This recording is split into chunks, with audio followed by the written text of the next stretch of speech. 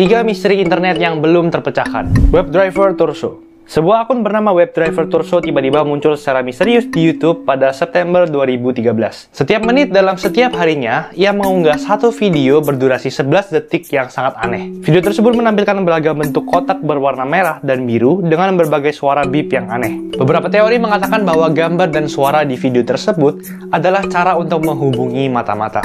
A858 Subreddit misterius bernama A858 pertama kali muncul pada 2011. Setiap harinya, A858 memposting sebuah halaman yang menampilkan sejumlah kode panjang yang ditulis dalam bahasa heksadesimal. Banyak pengguna Reddit berusaha mati-matian mengungkapnya, tapi baru sedikit yang bisa dipecahkan. Cicada 3301 Cicada 3301 pertama kali muncul di internet pada 2012 dengan memberikan berbagai deretan angka yang membentuk ngengat. Mereka juga meninggalkan pesan bahwa mereka sedang mencari orang-orang dengan kecerdasan tinggi yang mampu memecahkan kode-kode ini. Sejak itu, beberapa petunjuk baru muncul setiap tahunnya hingga 2015. Banyak yang mengatakan bahwa hal ini merupakan cara dari CIA dan NSA untuk merekrut anggota baru.